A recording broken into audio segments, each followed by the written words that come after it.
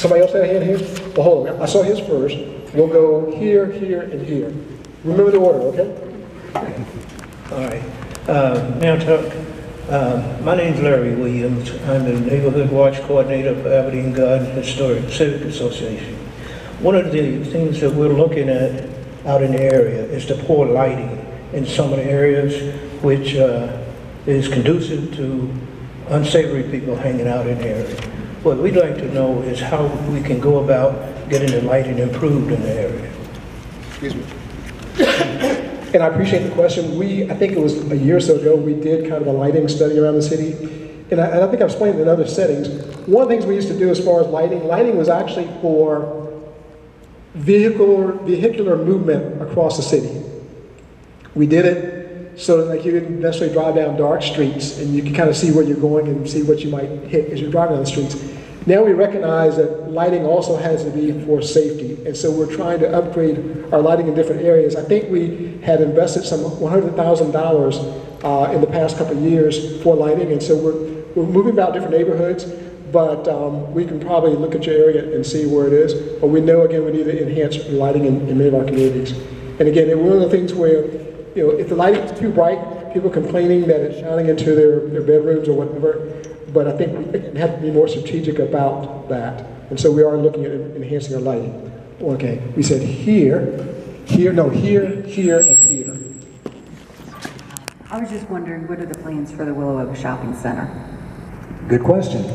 Um, Willow Shopping Center is, is not our proudest moment, but I will tell you the reason. Um, it was April of last year, our former Economic Development Director, Leonard Sledge, and I both drove up to Rockville, Maryland, and we met with the owner and I think his niece, and he is probably in his 70s, um, is a fairly successful business person um, who was somewhat aloof in that um, he, he recognized that he owned that shopping center outright.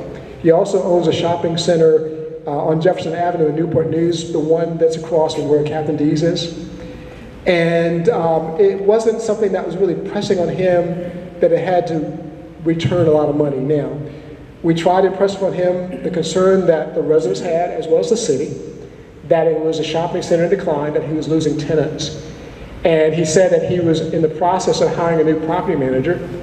And in fact, I think when we got back, we did uh, have some conversation with the property manager who told us that he has tried his best to get that owner to make improvements, but he's unwilling to. Um, so what we're doing from a city perspective, the best we can do, because it's probably owned, is we're trying to enforce code violations that we see. So uh, I'm not sure if, if, if, if, large holes in parking lots is something we can enforce, but we, we at least try and bring it to his attention. It is? Okay.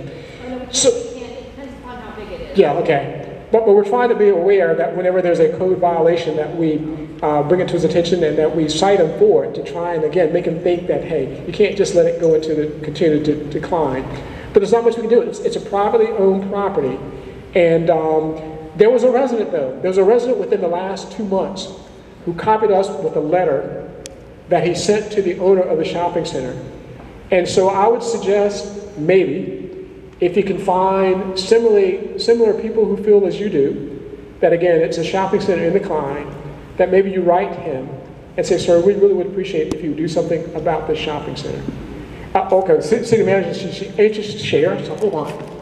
Just a moment. If you don't mind. You can't hold the mic though. Oh, okay. All right, here we go. We'll break the rules. Only because we get asked a lot, I thought you might want to clarify that the city doesn't have any plans to do anything other than have it be a shopping I was center. going to say that to you. Yeah, just didn't want you to forget that, because a lot of people, there's a rumor going around, we're trying to do Section 8 housing. That's absolutely not true, and just wanted to get that on the record. Still want me to tell them? No, yeah, yeah, Okay. you can tell them. It's not going to be section eight. Okay, hold it. I, I see a new hand, but there's, there's an order. There's, there's an order. Okay, all right, see? I got to go him, then her, then you. Okay, is it okay? All right, we got it. Okay, sir. Answer was good, or I had basically the same question as as she did. Okay. No, no, no follow-up yet. No, no, no, no. Oh, I still got a follow-up to that. Forfeit his turn. We're going to vote. Did he forfeit his turn? They just killed my mic. I think I was kidding too much here. Okay, hold on. I think back to, again, the Rumorville, I have met the owner of that shopping center myself. Um, Is Harris Teeter going in, or is Harris Teeter going to put one at Riverdale and call that one done now? See, that's how rumors get started. Actually, Kroger's coming to Riverdale. Same And Kroger's is coming to Riverdale. Correct, sir. And Harris Teeter's has, has confirmed to us that they're planning to put Harris Teeter in the, um, in Willow Sheds. Okay, okay. All right, good. All right, we can stop that rumor.